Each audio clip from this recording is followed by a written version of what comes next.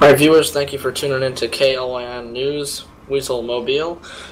Uh, tonight we are at the Mobile Police Department headquarters on Innocence Boulevard. Uh, we're about to go ahead with a press conference with Commissioner Donavan uh, to talk about the recent incident with the uh, shooting with an officer being suspended. Uh, we are joined in the studio by correspondent Dave Rodriguez and Mike Smith. Uh, so we are getting ready to ask the commissioner some questions. Uh, this is correspondent Dave Rodriguez again. Uh, we're still waiting on the commissioner to come out to entertain the press conference. Um, we should have the commissioner out within the next five minutes. So.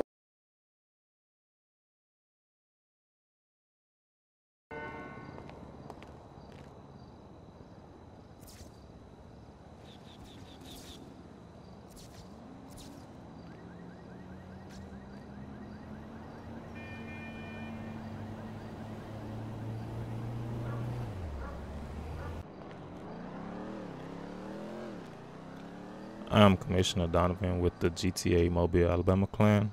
I'm here to host a press conference on behalf of the Mobile Police Department.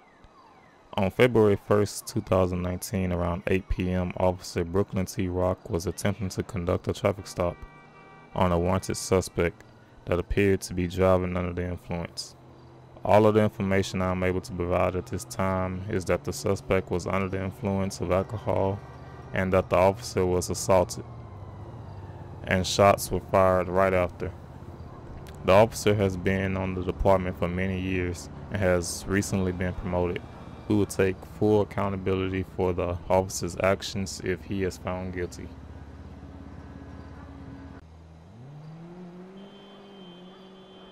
Commissioner, could you tell us what the lead up to this incident was? What was the suspect um, wanted for before the officer began to chase him?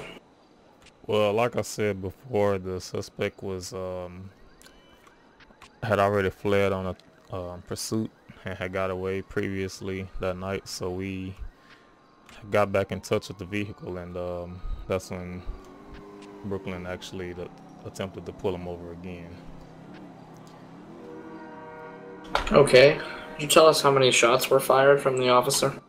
Um, I do believe there was two shell casing casings that was uh, fired from um, the officer's weapon, and also video footage shows that from somebody that recorded it. Okay, we've had some concerns about the uh, intent of the officer that have been emailed to us uh, through our website. We'd like to ask you uh, some of their questions. So, what do you think the officers reasoning or intent was for shooting at the subject's vehicle? Um, at this time, I'm not going to be able to answer that question. Uh, like I said, it's still in investigation right now. So until we get full details on the reasoning, like I said, we had to sit down and talk with the officer and um, basically, you know, interview him and get his full side of the story and once we get that information available we'll we'll reach that out to you all. Okay and just to confirm that the suspect from the uh, the incident he was apprehended correct? Yes he was um, taken into custody probably around after the 15 minute pursuit. Um, like I say he led officers on a second pursuit and he was later on arrested on I-65 okay. Um could you tell us what type of vehicle was used in the chase? I believe it was a um, two-door black sports car. Uh, I'm not really able to remember the model right now, but once I receive that information, um, I'll get that as, to you guys as well. Okay, and are you have you uh, been able to release the uh, information on the suspect that was involved in the incident yet? Or are you not releasing his name or anything at this time? Um, we haven't um, gotten a chance to do any of that yet. Uh, that's still going to be under investigation because, like I say, we we're not going to be able to release the information just yet. But we do have a suspect in custody.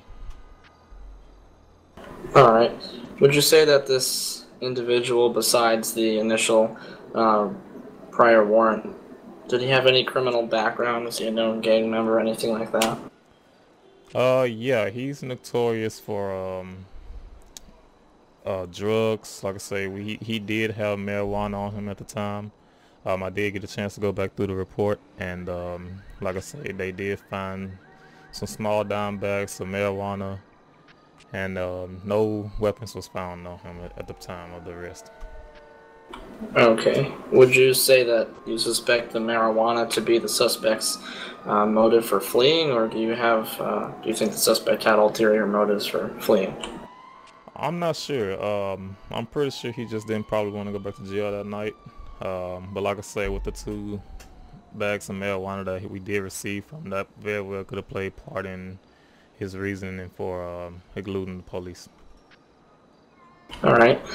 Um, how uh, how experienced of an officer is this? How many years has be uh, has the officer been with the MPD?